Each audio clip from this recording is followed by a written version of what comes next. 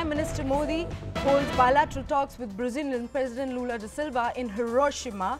Now, he's been holding these bilateral talks with Brazilian presidents on the sidelines of the Group of Seven summit. And uh, uh, well, the broader agenda of Group 7 summit has been revolving around the nuclear disarmament, economic resilience, economic security, regional issues related to climate change, energy security and food security.